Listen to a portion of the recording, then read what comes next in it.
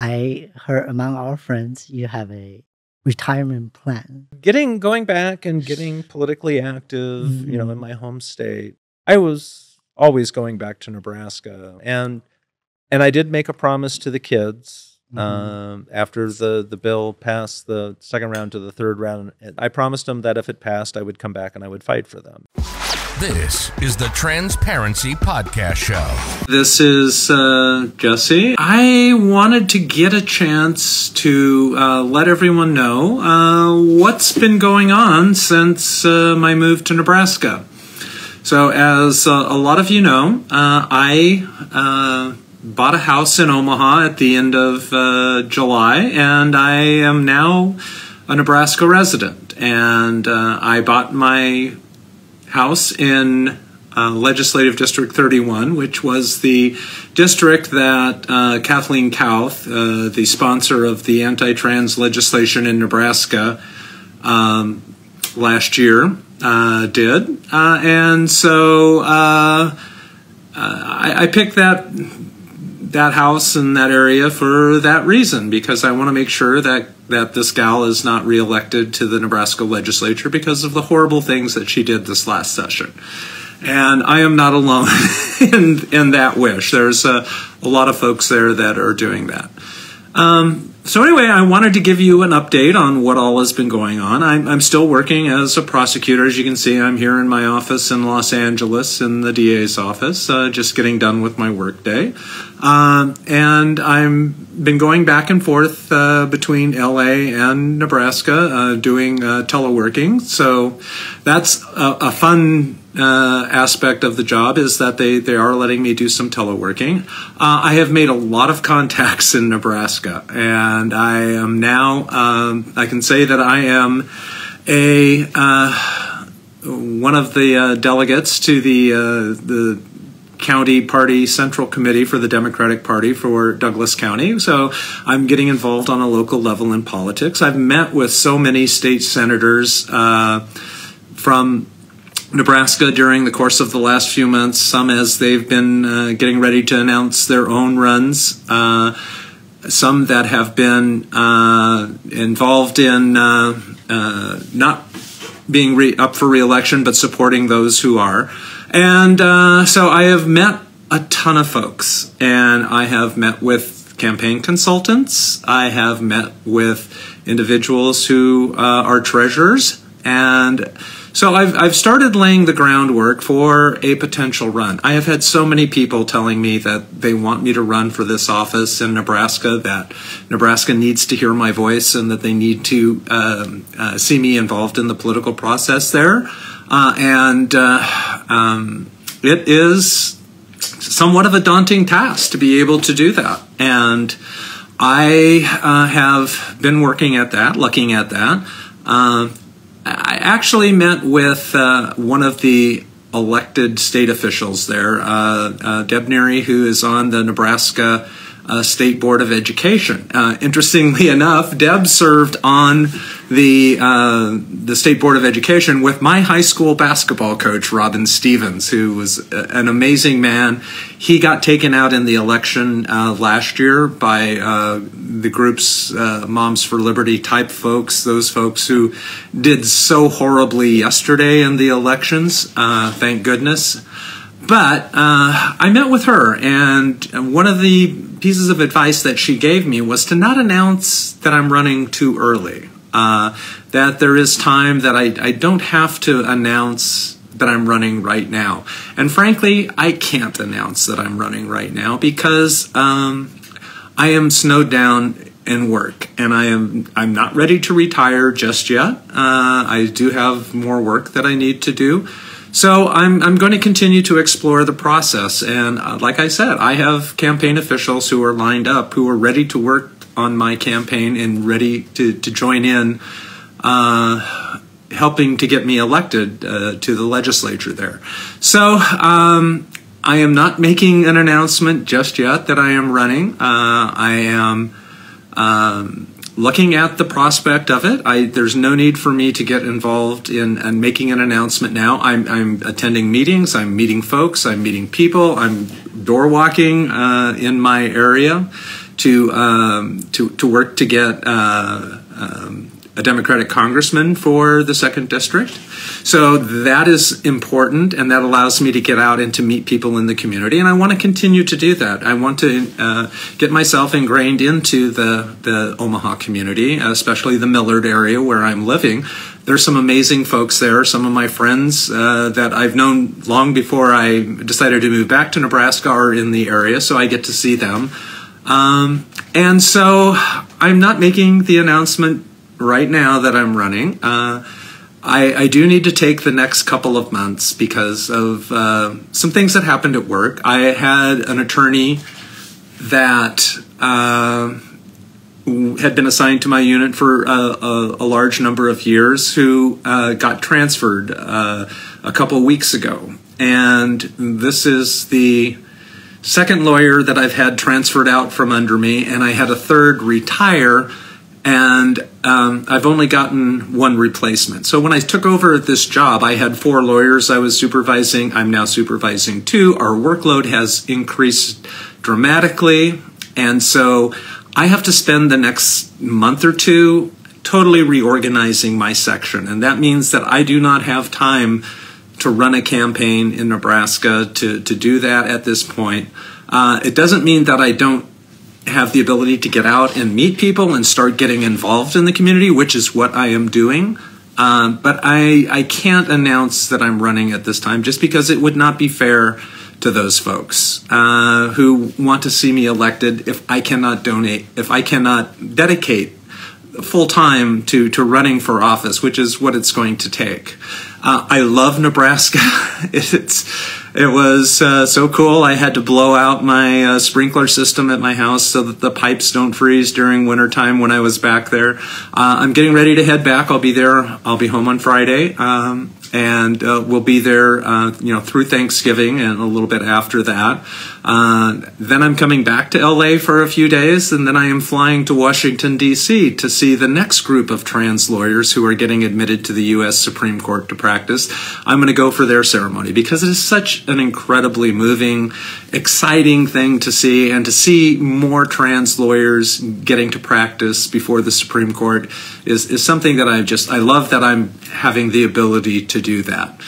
And so, uh, with that, uh, that is kind of my update. Uh, after I uh, go to uh, DC, I'm flying back to Nebraska for a little bit, but I do plan on spending Christmas here in California. Hopefully, getting to see my kids and and folks, um, and uh, get to enjoy my hot tub. yes, I I, am sure I'm going to get a lot of comments that I need to buy a hot tub in uh, Omaha uh, for my house, and I may end up doing that. Anyway, uh, this is uh, just a quick update to tell you where I'm at. Um, I totally love uh, my life the way it is now, kind of going back and forth. It is definitely uh, a little bit draining, and it's a, and it's sometimes I, I, I wake up going, where am I? what day is it? But uh, it is it is something that I, I love getting back into my Nebraska roots and getting back in with the folks, you know, from home and and getting back there to try to make a difference for the trans folks who are there. So I am um, definitely uh, enjoying it. I'm definitely seriously considering the the prospect of running. Uh, the interesting thing is, is I am already inside uh, the the setting state senator's head. She has taken to the airwaves in a podcast out of Australia. I, have posted it on my story, and I, I, think there's a little bit on on one. I've done a post on it, but uh, she definitely does not like me. I make her nervous. I I, I somehow uh, it I, it makes her feel bad to uh, identify me as being a woman because in her mind I I'm not a woman and I never will be a woman. Uh, so therefore she needs to legislate against my being able to function in society, which is um, is so sad because there's so many amazing trans people in this world and wanting to try to eliminate us and not be able to participate in in society is just so incredibly wrong. And as we found yesterday with the, the election cycles in the multiple locations where we have um, uh, fought back, and uh, I, I, think there were 24,000 school board seats up for election uh, yesterday, and uh, Moms for Liberty is touting their 50 wins. Uh, that is not that is not a good time. So anti-trans, anti-choice are both horrible political positions to stake out, and and my my state senator is somebody who believes there should be no abortions and no trans people should exist. So uh, it's something that I, I feel very strongly about fighting for. Uh, you know, taking the, the, the medical decisions out of the hands of patients and doctors is so wrong and is so wrong. So um, I'm going to keep at it. Uh, I know I've got a question uh, from. Uh, um, uh, somebody wanting to know when my last day in the office is, and I'm I don't know. the, the, honest answer is I don't know. I don't know when I'm going to retire. I, I, don't know if it's going to be next year or if it's going to be the year after. Uh, it all depends. Um, I have a lot of uh, a lot of things to think about, a lot of things that I need to consider. Uh, being able to run an effective campaign, being able to do it fully, and be able to be fully invested in it is something that that I, if I'm going to do it, that is what I'm going to do. And I, I just don't know whether I'm going to have the bandwidth to be able to do that this election cycle, or if I may have to wait. But one thing I can guarantee you is that I will be out there pounding the pavement to make sure that Kathleen Kauth is not reelected as a state senator because she is so wrong for the state of Nebraska and has done so much harm to the unicameral system that we have there uh, and one that I love. So uh, I am definitely that is nothing that is off the off the track. I am going to be working tirelessly to do that, and to that end, I, I do have to testify. Uh, I believe on the 28th in Lincoln. There's a public hearing on the um, the uh, gender affirming care for minors uh, rules that have been established. Uh, those rules are draconian. Uh, they are way too detailed and too uh, restrictive. Uh, basically, uh, a kid has to undergo almost a year of therapy uh, before they're even eligible to take any type of medication. And the uh, therapy has to be non non affirming. And, and that goes against all of the, the dictates uh, of medical professionals, uh, especially counselors and such. They're, they're asking them to violate their professional rules of, of responsibility and conduct, their professional rules of how to treat patients. And it's a horrible, horrible um, restriction, a horrible law, and I want to take my part to at least go and testify and explain why it is and, and why it should not be in place. Uh, I have a feeling that we're going to end up with having to go to court on these issues, and, and I may be able to help fight on that. So, um, and somebody's asking, uh, how do they come up with these rules? Well, uh, they go to all of the gender critical folks and find the most draconian uh, things that they can figure out uh, that will make it look like they're giving an option to somebody to pursue gender affirming care when in fact it's um, uh, you've heard of the carrot and the stick, right? Well, they have a carrot, but you never, uh, they have a stick, but you never get the carrot. They keep putting um, requirements in front of you to, to do certain things, promising that you'll be able to get blockers or hormones, uh, but yet you never can because they change the goalposts all the way through. Their their goal is to deny uh, kids the ability to um, uh, get gender affirming care, force them through their uh, their um, natal puberty uh, because they have a belief that trans kids are not trans and and if they go through puberty they'll discover they're not trans and everything will be happy and they will be joyful and they will evolve into loving their bodies that they have and that's BS. I know because I went through it. I, I hated my puberty. I didn't want to be pure. I, I, wanted to go through a different puberty, and it took me a long time to do it.